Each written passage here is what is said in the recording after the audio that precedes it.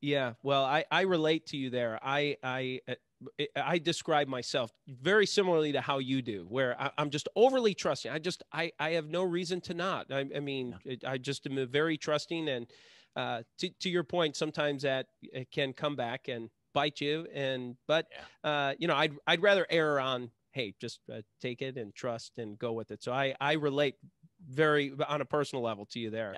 Yeah. um, well, well, let's take a look and kind of flip this on the other side and talk about a make or a win or two that you had along the way. You've already described several, but are there any is is would are there any others or maybe re-emphasis of some you've talked about here? Well, certainly uh, you can't you can't uh, talk about your wins without talking about your spouse and your kids. Couldn't be more blessed to have a wonderful spouse and um, great kids. So those are no brainer uh, what is it called? A make? Those are makes. Yeah. I made those kids so double um, the um, pet butler is a huge uh, huge uh, make for me. And uh, each each um, building upon the experience has been a blast.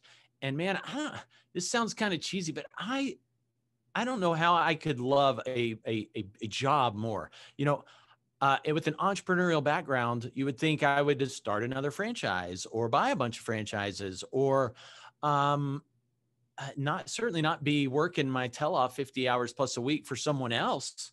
But bro, I, I love it. I love it. I love it. I do. I, I come to, I get to work early. I wake up. I don't even need an alarm clock half the time because I just can't wait to get into work. And it's weird how much I enjoy this job, but it's just fun. It's so rewarding to me. And I never thought a job in job just over broke. You know, I, I would never thought I would have a job I love so much but I really do. So to me, that is a massive make just to be able to love what you do every day.